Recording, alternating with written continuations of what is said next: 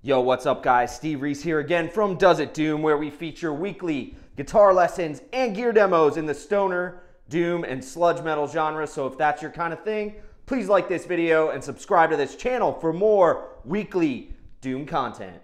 In today's lesson, we're going to be breaking down Two Urns by Windhand, killer track off Grief's Infernal Flower. Your guitar is going to need to be tuned to C standard, so get your shit tuned up. I'm going to zoom in, do a quick demo, then we're going to come back and break it down riff by riff.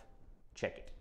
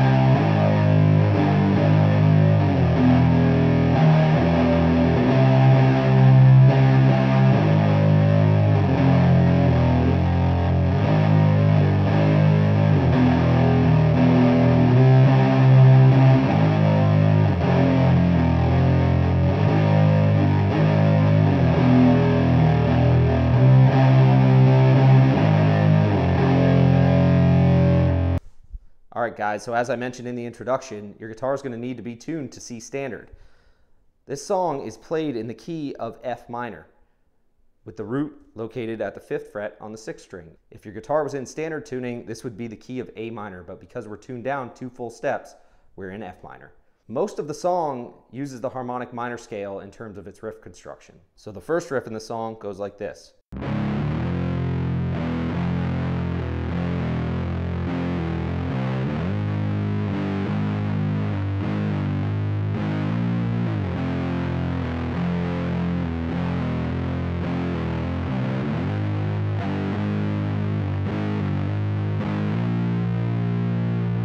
Notice the first time through, I'm really accentuating the notes and hitting this open string.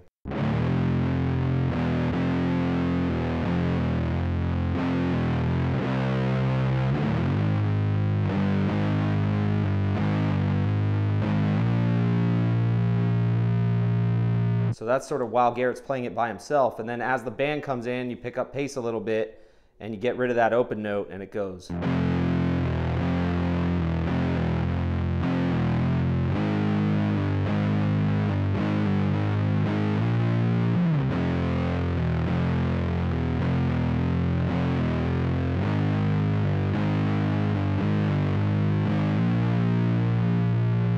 So in terms of the intervals, you've got the root, the major seventh, the minor third, the major second,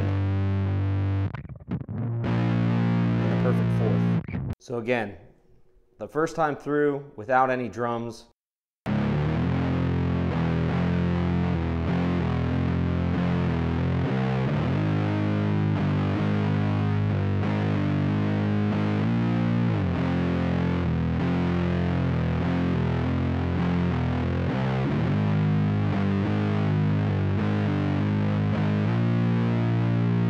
as the rest of the band comes in.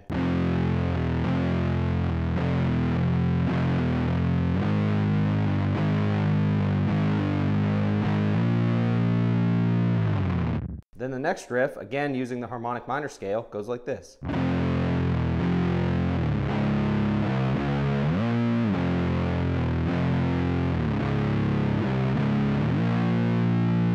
So again, you've got the root, the major seventh,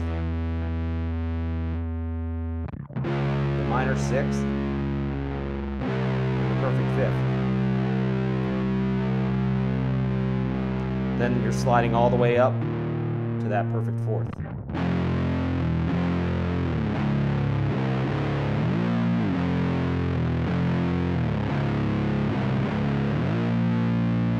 Down here, I'm doing the power chord at the first fret, then just doing the open sixth string.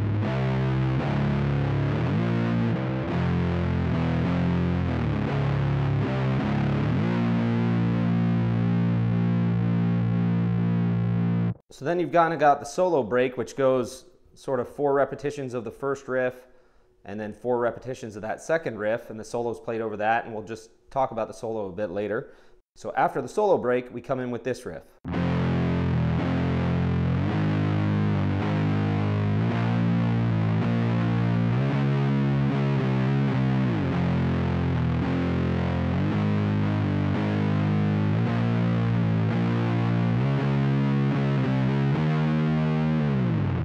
So again, harmonic minor. So that interval is the root and the major seventh. Then we've got, which is the minor third and the major second. Then you've got this interval and the major third. Now the major third is not from the harmonic minor scale, uh, but it's a note we've talked about plenty of times that is a very dissonant note when used in a minor context. One of those four intervals of doom I talk about, so major third,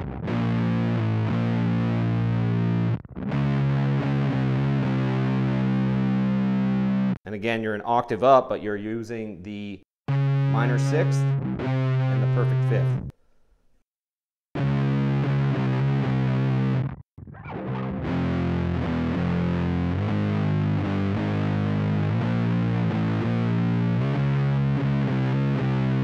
That's the first time through. So the second time through, you're going to use the flat seventh interval, which is from the natural minor scale. So again, you're sort of seeing this blending of the natural minor scale with the harmonic minor scale. You've got the major third thrown in there, just a lot of dissonance kind of working together to sound really cool.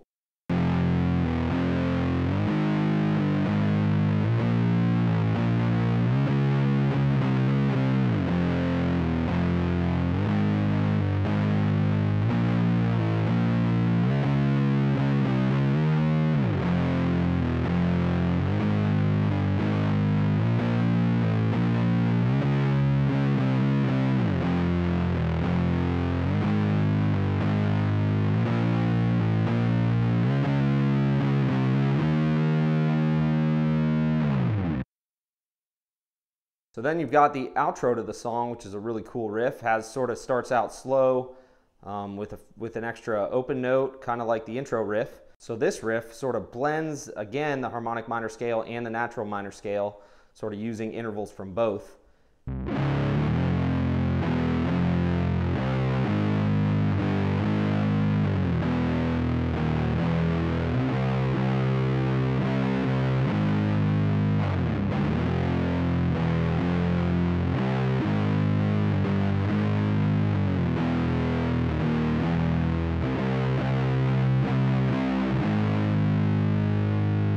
So you've got the root and the major seventh. Getting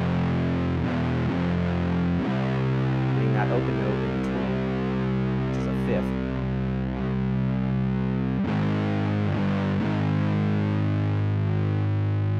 And there you've got the minor third and the major second.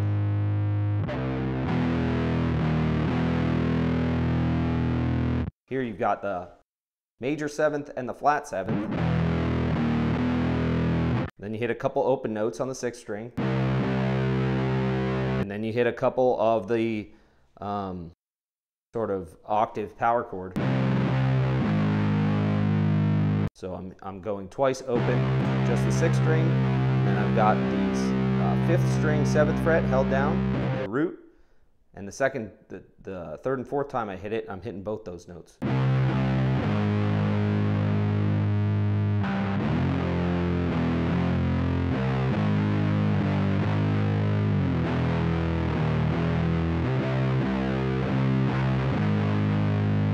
Then the riff starts to speed up, and that one kind of open note goes away, and sort of more sliding, less direct picking.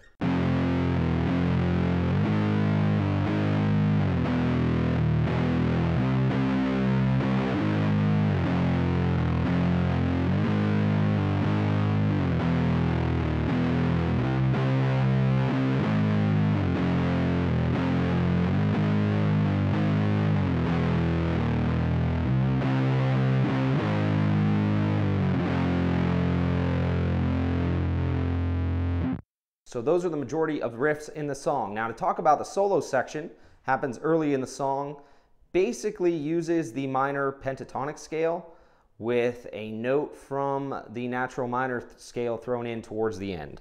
Uh, you've got a couple, you've sort of got the main pentatonic box with the lower extension played an octave up. So you got the root at the 17th fret.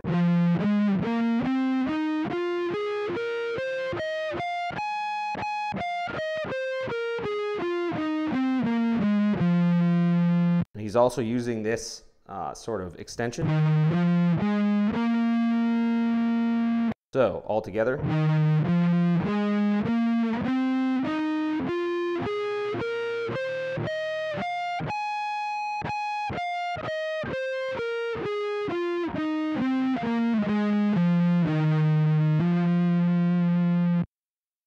And towards the end of the solo, he's going to use this major second, which is from the natural minor scale. Um, and sort of to improvise through the solo a little bit, not playing it exactly like he does. He uses, it's really classic uh, volume four style Iommi to me, using just a lot of trills, right in the, those bass pentatonic patterns. Uh, you've got some slur licks, some um, sort of nice bends and unison bends. So Garrett uses a wah in this solo, and it goes something like this.